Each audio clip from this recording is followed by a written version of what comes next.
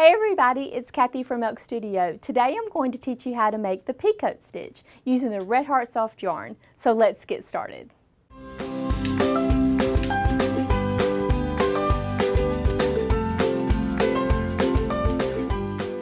Let's talk about the picot stitch. The picot stitch is a fun stitch which allows you to add a decorative edging to a project, but you can also find it worked into the pattern itself at times. Let me show you how to make the stitch.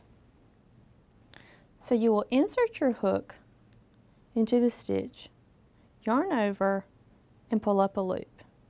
We'll make a single crochet, and then to make the picot, in most of the projects, it'll tell you to chain three. So you have three chains. So what you'll do is you'll insert your hook into the back of the bar of the stitch of the first chain stitch which is this stitch right here. Insert your hook in the back of the bar.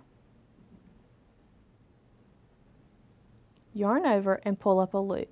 And it's just like doing a slip stitch. You'll just pull straight through that stitch.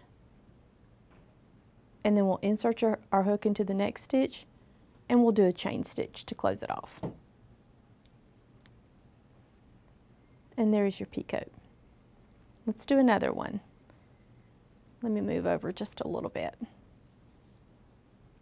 Insert your hook into the stitch.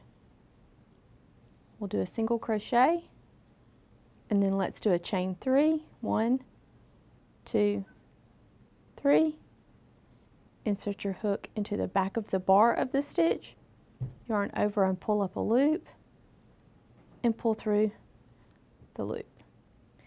Sometimes the pattern may also tell you to do a single crochet in the same stitch. It just depends. You have to just pay attention to the pattern. Let me move over and we'll do one more. Let's do a single crochet. We'll chain three.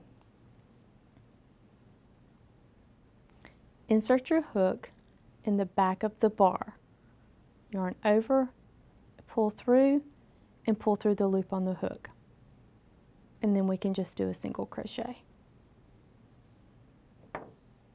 And that is how you do the picot. Now wasn't that a lot of fun? Be sure to give us a thumbs up. Don't forget to subscribe to our channel and all the information you need will be in the description box below.